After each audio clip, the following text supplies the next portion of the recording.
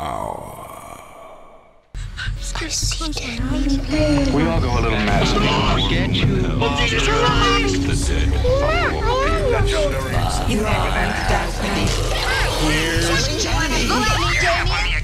It's all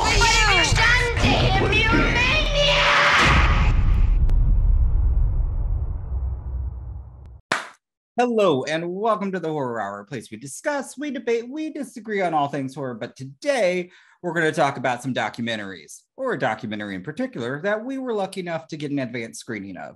And it's called Girl in the Picture.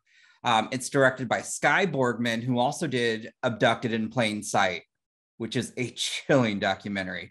And this is the source material for this one is from Matt Birkbeck. And he's also one of the executive producers. This is going to be on Netflix, dropping on July 6th. And it's about a young mother's mysterious death and her son's subsequent kidnapping that blows open a decades long mystery about the young woman's true identity and the murderous federal fugitive at the center of it all. Whew. So, with that, we're just going to get right into it and say, hey, Liam, what'd you think of it? So I really enjoyed it. Um, it was quite a gut puncher um, of a, a documentary. Um, but it was it was really informative, like the way it was the way it was presented. Like it it didn't just like give you all the facts and then end. It yeah. took you on the journey of the case, um, which which was really enjoyable to watch. Yeah, Yeah, it was it was very twisty, which was insane, and that kind of added to like why it was kind of it kept luring me in. And it is a, a gut, like you said, it's a heart wrenching tale.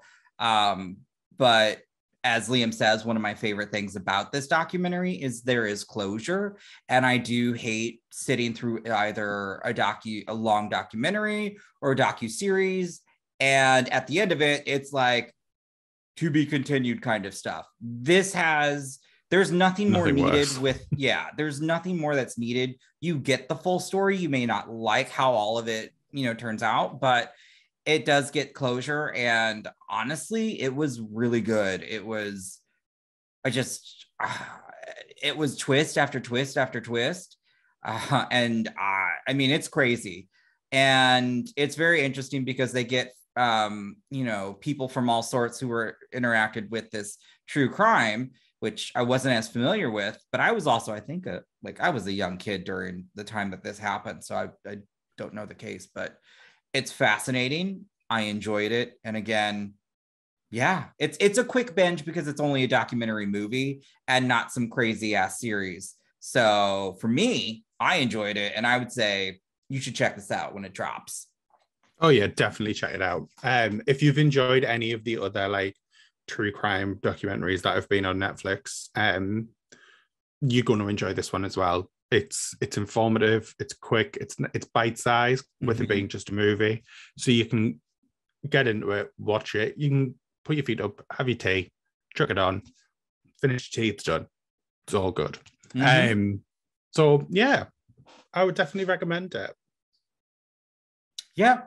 So hey, that's our review. We appreciate you coming. Just remember hit that like, subscribe button, and that notification bell so you're notified of every time we put up new content. We've got reviews, interviews, fun podcasts planned. And hey, comment down below if you've seen this, plan to see it, and um, if you can think of any documentaries that we should check out, let us know. So until next time, bye. Obviously, make them good. You have been listening to the Horror Hour. See you next time.